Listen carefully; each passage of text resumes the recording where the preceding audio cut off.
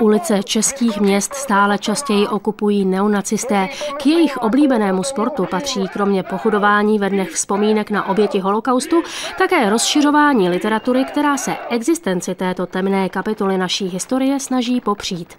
Popírání holokaustu je v Česku trestně stíhatelné, přesto se vydávají knihy popíračů a jejich antisemické články jsou běžně dostupné na internetu.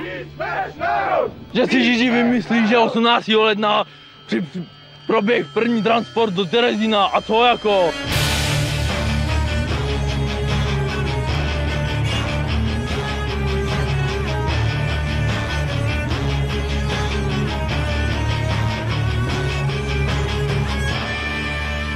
Popírání holokaustu? To je snad nesmysl, tomu nevěřím.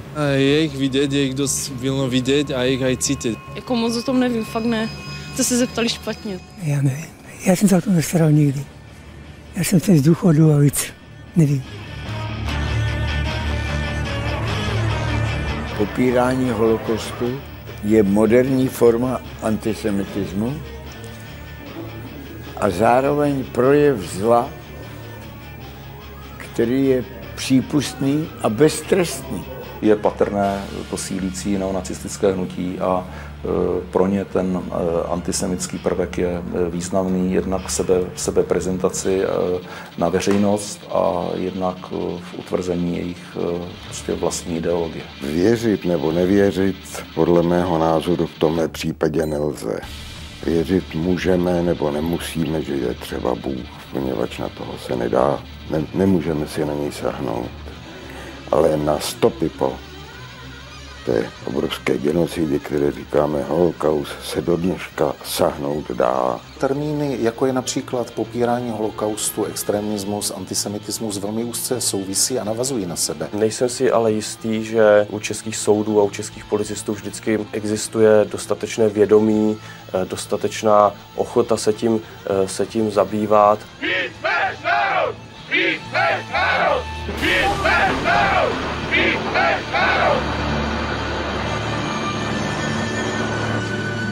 Ta první generace popíračů holokaustu, řekněme hlavně v 50. a 60. letech, byla otevřeně antisemická.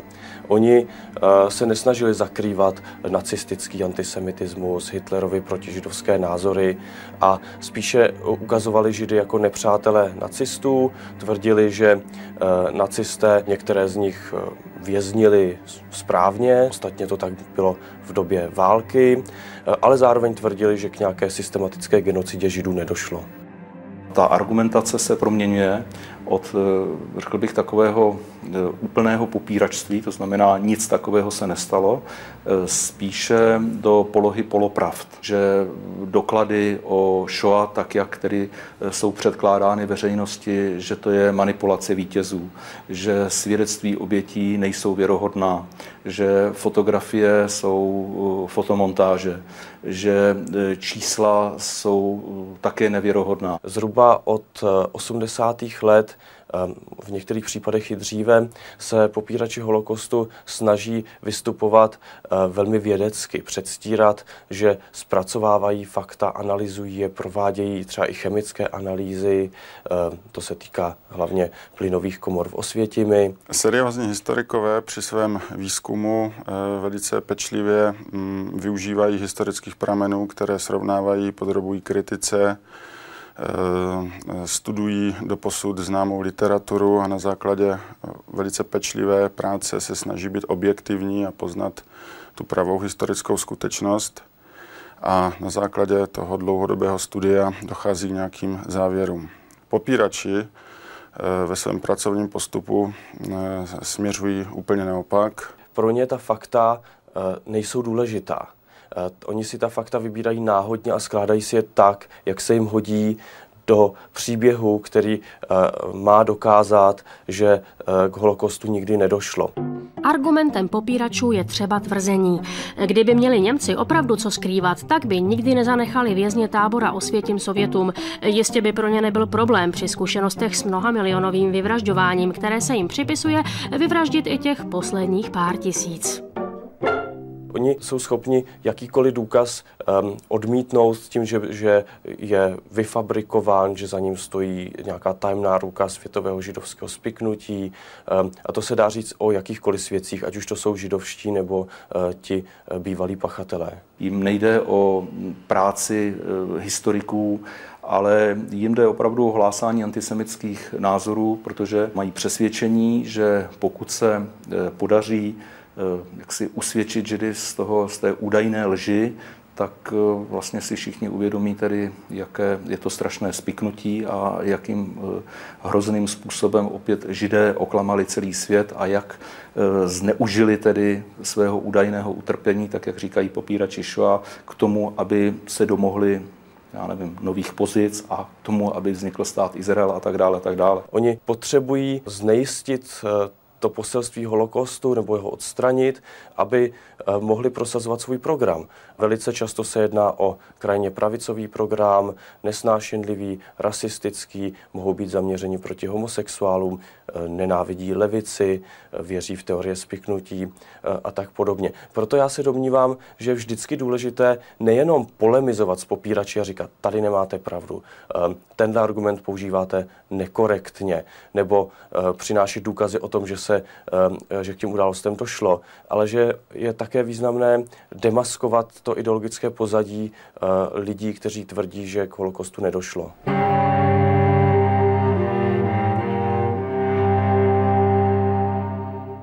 Ti, kterým se popírá, čím prošli, jsou mrtví.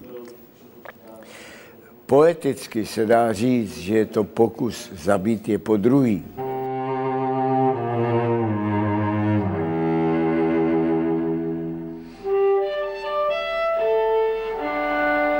Nejznámějším vystoupení eh, popíračů eh, na veřejnost eh, v České republice došlo v roce 2005, kdy Národně vzdělávací institut obeslal velkou část českých základních a středních škol brožurou, která byla pojmenována Osvětím fakta versus fikce, kterou můžeme hodnotit jako zcela lživý dokument obsahující zcela zrůdné antisemické výroky. V této pseudostudii se například píše Cyklon B byl v Osvětimi skutečně používán k vyhubení vší a jiných nositelů nákazy. Vzhledem ke špatným hygienickým podmínkám, kterým se z důvodu různé kulturní úrovně vězňů nedalo předejít, existovalo nebezpečí vypuknutí epidemií. Cyklon B tedy sloužil k uchovávání lidského života, ne k jeho ničení. Do češtiny je přeložena třeba Leuchtrova zpráva, což předstírá, že je takovou forenzní analýzou fyzických dokladů ehm, eh, vyvražďování Osvětimi. Tvrdí, že eh, tam k žádnému vyvražďování plynem nemohlo dojít a tvrdí, že stejně, i kdyby k němu došlo, tak ehm, že by se nikdy nedalo stihnout eh, splynovat tolik lidí a používá přitom velmi absurdní a nekorektní argumenty. Myslím, že stačí zajet do Březinky, tedy do Auschwitz-Birkenau. Myslím, že nikdo tam nebude pochybovat, že ty desítky nebo snad stovky komínů z těch bývalých bloků někdo postavil jenom proto, aby eh, klamal veřejnost. Vůbec nejznámějším popíračem je britský historik David Irving, který v průběhu eh, své činnosti začal velice úzce inklinovat k popíračům. On eh, v podstatě spochybňoval, že by Hitler chtěl jít do války, že Hitler věděl o eh, genocidě eh, židů a tímto způsobem se snažil obhajovat nacistický režim. On je to také minimálně krajně nacionalistický člověk. V úvozovkách ho proslavil potom soud s Deborou Lipstadt, což je autorka eh, asi té nejdůležitější knihy o dějinách popírání holokostu. Americká historička. On ji zažaloval za nadsti utrhání a nakonec tento soud eh, prohrál. Výraz vyhlazení židů například Irving nahrazuje termíny židovská tragédie nebo špatné zacházení Němců se židy.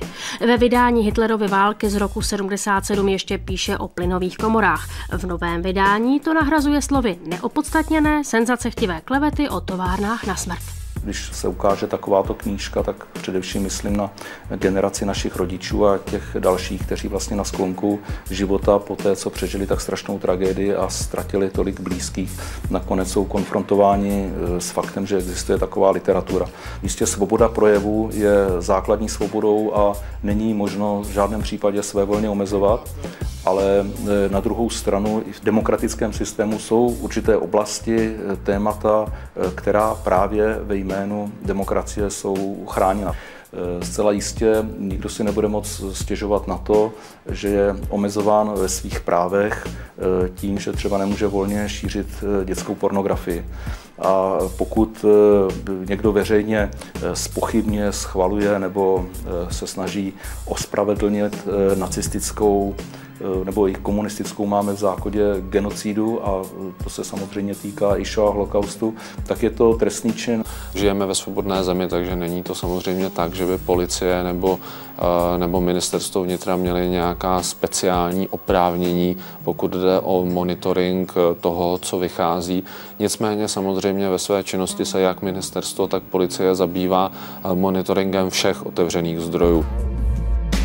Popírači holokaustu eh, bohužel eh, mají takový názor a eh, s nima se nedá nic dělat. Záleží na kultuře společnosti a na tom, zda jsou tam i lidé se zdravým rozumem a zda dovedou ty věci včas zachytit a potlačit. Nemůžu na to nic říct, protože my lidé s tím nic neuděláme, že?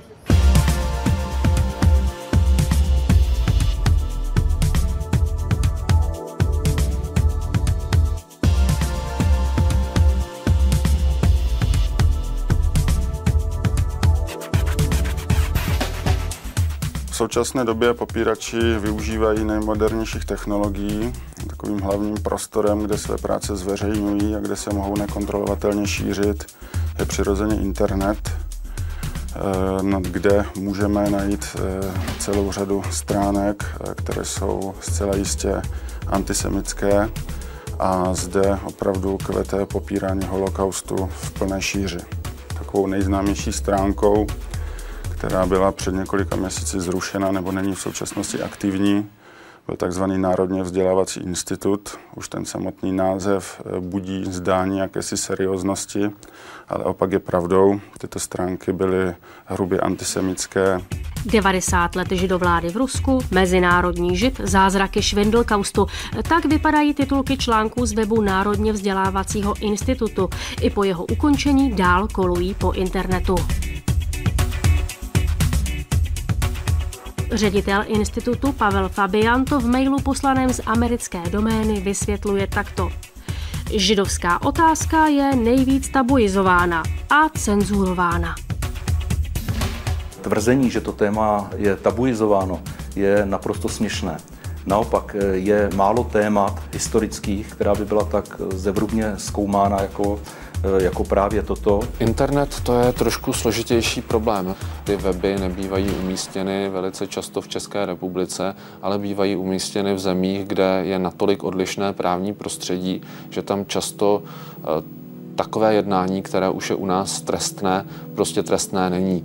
Internet je takové nekonečné moře a zdaleka se nejedná jenom o český problém. Prakticky na všech eh, českých spravodajských portálech, aspoň na těch, které diskuzi povolují, jakákoliv témata, která se týkají židů, ať už to je eh, Izrael, nebo eh, je to třeba diskuze s Leo Pavlátem, nebo je to nový český premiér, vyvolávají velice silné antisemické reakce, kde je vidět, že ti lidé znají motivy eh, a jsou schopni dál předávat motivy z antisemické literatury. Jsou to často motivy, které eh, sahají do 19. století nebo, eh, nebo ještě dále. Velice oblíbené téma toho nového antisemitismu je ta údajná židovská tedy moc a finanční moc a ty karikatury si nezadají potom s těmi, které známe z 19. století a ještě ze staršího období. To jsou šelicí ti jaksi pavouci s těmi svými sítěmi a ti, kteří si eh, hrají jaksi eh, takhle si pohazují se země koulí a ti, kteří tahají za nitky a tak dále. To jsou, to jsou prostě opravdu stará, stará antisemická kliše. Maminka Francovi vysvětluje, že s lidmi je to podobné jako s houbami. I mezi nimi jsou lidé dobří a lidé jedovatí. A víš, kdo jsou ty jedovaté houby lidstva? Ptá se maminka. Samozřejmě jsou to židé. Tak začíná čítanka pro školáky Třetí říše. Nacistická ideologie promyšleně cílila už na ty nejmenší. Na koho líčí dnešní šiřitelé antisemických ideí? Velice často právě ti neonacisté loví v těch eh, především té mládeže, hlavně základoškolské, středoškolské.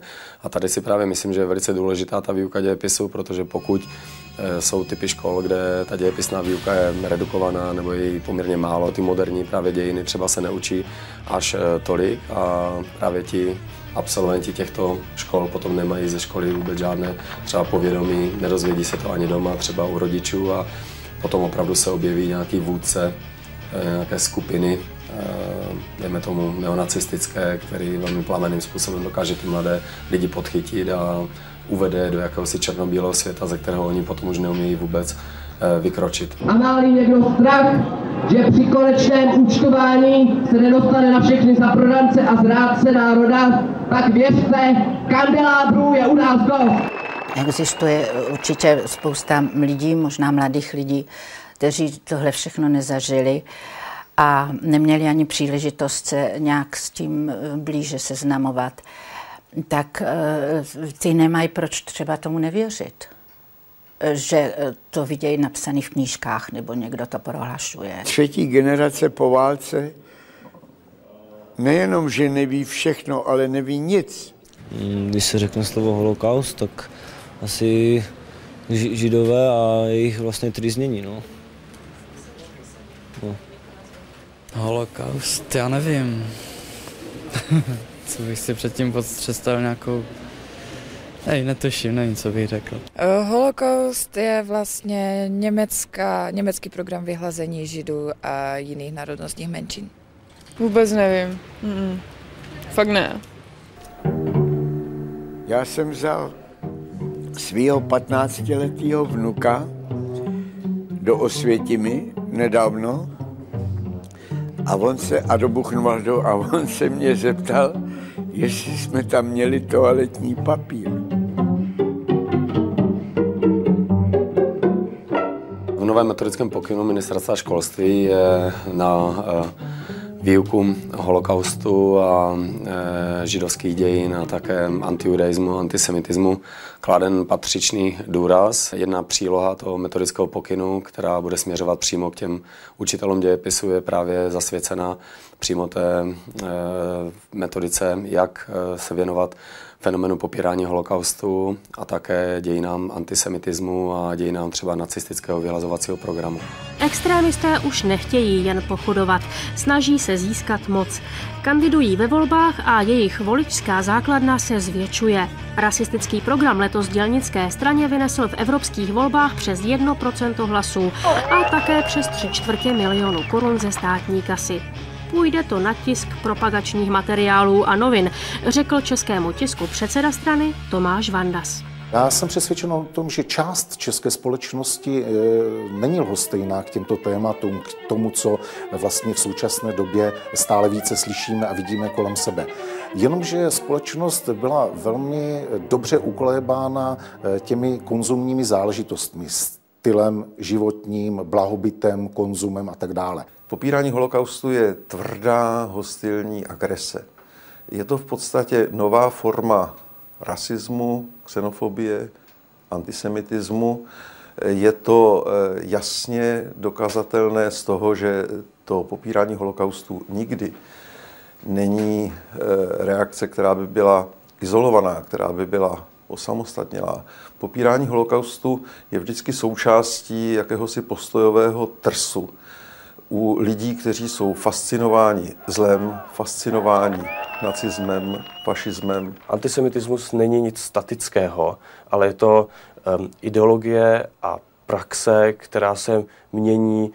V českých dějinách máme spoustu případů, kdy antisemitismus narostl vlastně ze dne na den díky nějakým klíčovým událostem a něco takového se může stát i tady s těmi skupinami. V každé společnosti je kolem 5 lidí, převážně mužů, kteří mají eh, takzvaně vysoký F-faktor, to znamená, jsou náchylní k tomuto typu reaktivity. Ať je to Ku Klux Klan ve Spojených státech nebo lidové milice u nás. Je to fascinace jakými si polovojenskými organizacemi, to znamená uniformou, vysokými botami. Jsou to eh, v podstatě skupiny neúspěšných mužů, kteří se zhlukují proto, aby si vlastně léčili svoje pocity méněcenosti tím, že se zgrupují do nějakého stáda. Uvádí se, že pokud je těchto jedinců kolem 5%, takže to společnost demokratickou neohrožuje. Riskantní je pro společnost, když je těchto lidí víc a to se stává v období krize. A protože jsme v období krize, tak eh, se dá tímto mechanismem snadno vysvětlit jejich relativní úspěšnost na české politické scéně.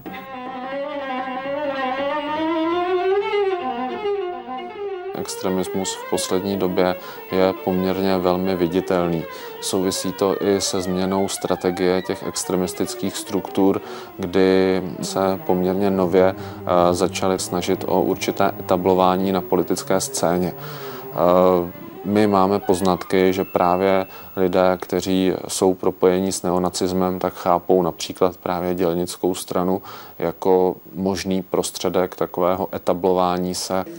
To není žádný extremismus, to je projev fašismu. Fašismus začíná slovy a končí vraždou. Vidět tyhle hajlující lidi tady u nás eh, v Praze a všude, eh, nebo v televizi, eh, to je strašný pocit. Tady snad už se nedá říct, že ta demokracie by měla být taková, že připustí tyhle věci. Já nejsem žádný státník a nic, ale myslím si, že by se to prostě nemělo připustit. Česká policie k tomu má vztah, že dokud se nedopustí ničeho horšího než pochodu takže není důvod proti ním zakročit. Protože se mi zdá, že hlavy policejní nevidí ty souvislosti. Nechceme, aby městem pochodovali neonacisté. Asi takový mediálně známý poslední dobou propíraný krok ministerstva vnitra bylo to známé podání nového návrhu na rozpuštění dělnické strany. Byla zpracovaná strategie boje s extremismem, Existují různé pracovní úrovně, na kterých se toto téma projednává a ministerstvo ve spolupráci s policií prostě připravuje a realizuje řadu opatření. V podstatě v základu české státnosti je boj proti antisemitismu. Masaryk jednoznačně začal svoji eh, politickou kariéru eh, Hilsneriádou, tedy bojem proti antisemitismu. Myslím si, že to je třeba si uvědomovat a v podstatě české země byly vždycky hrdé na to, že ač zde nějaký antisemitismus byl, jako ve všech zemích, tak ho tady bylo relativně nejméně. A čeští židé byli vždycky velice vážení a byli vždycky velice přínosní pro českou společnost. Podívejte se jenom na to, že třeba v době nesvobody nám eh, kontakt se světem zprostředkovával Pavel Tigrit, že spisovatelé, jako je Ota Pavel nebo Arno Šlustik, patří k nejmilovanějším. To, že se objevuje zase po mnoha letech nová forma antisemitismu je ostuda a ta společnost by se s tím měla jako tvrdě vypořádat. Nežijeme na měsíci, žijeme v Evropě, měli bychom si uvědomovat tu historickou evropskou zkušenost, měli bychom tam ty paralely vidět a měli bychom se z nich poučit. Myslím si, že je všeobecně známý fakt, že ještě předtím, než vlastně v předválečném Německu nacisté uchopili moc parlamentní cestou, než vyhráli volby, získali ve volbách něco okolo 3,5% hlasů, poměrně mizivý výsledek Potom samozřejmě eh, vypukla velká hospodářská krize, nebo bylo tam to období velké hospodářské krize a i v tom můžeme spatřovat určité paralely s tou současnou situací. Takže kdybych to měl schrnout, myslím si, že musíme být v posuzování těchto jevů velmi pečliví, velmi ostražití. Já bych přispěl na svěrací kazajky, anebo, a to není možný, to je pohádka, je na hodinu poslat do Buchenwaldu, na malou pevnost do Terezína, nebo do Osvětimi, nebo Bergen-Belsenu, aby viděli, co popírají.